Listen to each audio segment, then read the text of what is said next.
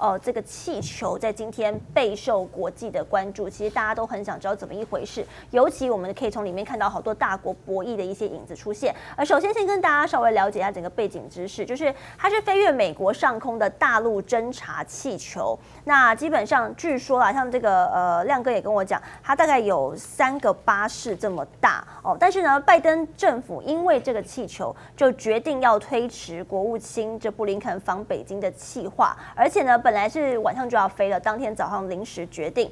但我比较想问斌哥，就是这个时间跟地点有多敏感的这一块哦，因为现在也不光只是布林肯原本当天晚上要出发，美国国防部长正在菲律宾哦，他访问内容也要讨论到不管是南海的这一些，甚至是如何强化美军的解对于解放军可能攻台的反应能力等等的，地点也尴尬啊，因为这次看到他整个漂流的经过，无论从阿拉斯加到加拿大到蒙大拿，而蒙大拿这个点呢又是空军基地，而且又是导弹连队之一，斌哥。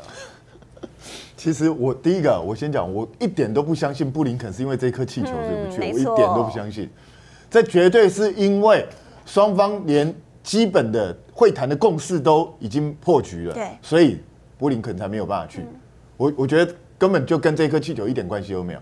那再来，这颗气球真的对美国威胁大到这种程度的话，那美国早就把它打下来了，他怎么还让它继续飘？是，对不对？你不要跟我胡乱说什么掉下来会伤人，那是气球哎，那那不是个炸弹，而且美国要去解决这个气球有太多种方法了。嗯，我讲实在话，因为它是个高空气球嘛，但是它也没有飞多高，据说它现在目前也不过飘在几千公尺的高度而已，所以几千公尺的高度，美军有太多种办法可以对付它。嗯，你用个螺旋桨飞机把它带走就好了，或是用其他的方式都可以解决的。那美国为什么没有这样做？嗯，其实他是要留下来做香香骂本的。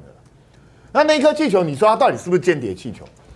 从某一个角度上来说，它也算是，但是它侦测的不是地上的东西，地上的东西它卫星看就好，它干嘛用气球？它有病啊！它那一颗是侦测气气流的，其实严格来说，它是个气象气球。呃，当初飞来台湾上空的也是同样的嘛？其实就是同样的东西，就是。它在侦测整个大气的环境，然后你在北美上空啊、阿拉斯加上空啊，它一路在侦测这些气流相关的这些，它在收集这些 data 数据。嗯，它收集这些数据要干什么？对它未来，它要发展一些相关的一些大气的研究，或是气象的预测，或者是解放军要做的，比如说我的导弹的参数的改进，或是我的飞机的参数的改进，其实都有用处的。美国自己都在全世界到处收集这种讯息，实际上就是这样子啊。那只要有机会，所有的国家都会做这件事情，这没什么好奇怪。所以美国故意要把这件事情闹大干什么？因为现在他在全面的对中国大陆进行围堵，所以他必须要找一个香骂本来做。所以一个很简单，就老讲，我我再次重申一次：如果美国认为它会有威胁的话，他会让它飘到空军基地上空吗？你觉得会出现这种事情吗？那而且你说这个掉下来会砸到人，你真的掉下来，哎。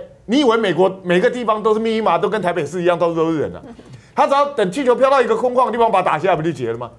所以这根本都是骗人的。那只是为了要去凸显，因为最近我老实讲啊，布林肯本来二月五号要去，可是现在发觉很多东西实在没有办法谈拢，所以。本来哦，本来拜登还跟麦卡锡谈好了，就是说你先踩个刹车，先不要，先不要赶快讲出来。布林肯先去，好，以利我们做最后的谈判。但是我相信，一定是中方要求说，如果你没有办法保证麦卡锡不去台湾的话，那你布林肯其实也可以不用来。哦，因为你来也没有用啊。因为不管我们二月跟布林肯谈的任何东西，双方有任何初步协议，你只要四月麦卡锡去台湾，这些协议全部作废。就是这样子的一个状况啊！所以斌哥，你认为那关键卡的点有可能就是麦卡锡？我认为是麦卡锡，我认为是因为因为白宫实在也没办法做这个保证，因为他也没有办法去控制麦卡锡。之前他同党的佩洛西他都控制不了，不了。那一个敌对政党的麦卡锡，他怎么可能控制得住呢？所以在这种状况下，白宫没有办法做这个承诺，所以北京就说：那那基本上，那我们大概就不用谈了。那既然不用谈的话，所以布林肯只好。他他不愿意是讲说是被中国大陆这边阻断嘛，所以只好讲说是我自己不要去的，是因为你那个烂气球来监视我们，所以我们不要去。所以，我我觉得找这种理由，其实在明眼人看起来都是很可笑的。嗯，就我的看法跟斌哥差不多，差不多了。就是说，你知道我看到那个的时候，我还以为是一百年前的那个齐 齐柏林飞船，你知道？新闻宝号有没有那种感觉 哈？OK，呃，那当然是一定有什么事情没有瞧好了，然后拿这个来做借口。对。那基本上现在，因为我们知道二十大结束了，然后美国其中选举也过了，应该不会一不会要剑拔弩张。不过目前为止，美国是有求于中国了，也就是说利用中国啊，然后乌克兰，然后要来对抗俄罗斯。是这个部分嘛？好，你有求于我嘛？然后麦卡锡那已经选完了，干嘛麦卡锡又要来呢？你知道这损人，那也讲说损人是对你们，那因为他是共和党的嘛，但对民主党有帮助吗？啊，所以呢，忽然我会觉得像这种东西本来应该都是巧好的，但是最后这个因为麦卡锡的关系，所以呢，大概呃，我也知道就是说布林肯大概去了，大概是无功而返，不如说现在自己说我不去了比较好了，大概是找个借口啦。所以斌哥讲的完全是对的，完全是对的，所以我没有能超越你的这个不敢不敢。不会不会，但是老师我问一下，就是这之间原本我们还看得出来双方还想留点颜面，像是美国的这个原本他国防部的说法嘛。呃，原本还说这是情报搜集，功效又不大，又不比卫星。对。然后当时这个陆方也赶快就说了，哦，就是无人飞艇因为不可抗力的因素，然后而且它是叫做严重偏离了预定航线，他也强调这叫做民用性质，用于我们刚刚提到的气象等科研。本来好端端的，就是各自都已经出现一个嗯和缓的把这件事搓掉，那反正布林肯就不来。就后来呢，你看到这个美国国防部，他一天马上就出现了转变，突然就变成说这颗。气球导致布林肯的暂缓访华，更提到不可接受，而且不负责任。我们刚刚看到陆方的最新回应也说，谁跟你说本来布林肯要来，没有谈好啊，没有这一场预期的访问啊。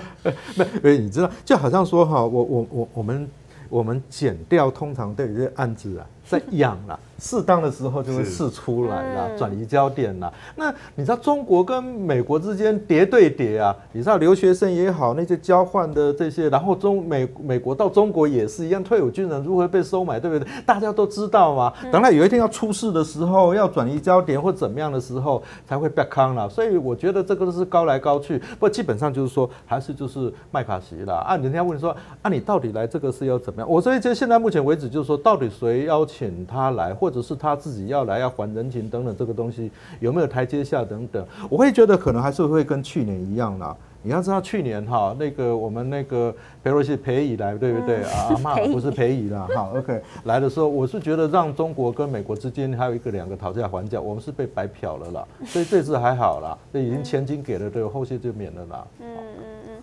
所以斌哥，我最后问一下，你怎么看？就是为什么美方跟陆方突然要说法大变呢？